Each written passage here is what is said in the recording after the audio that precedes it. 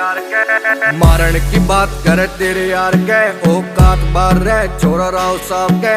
मज़ाक थोड़ी है, रह, जोन सा भी मारे, बेटा हाथ लावेगा, साला पछतावेगा ना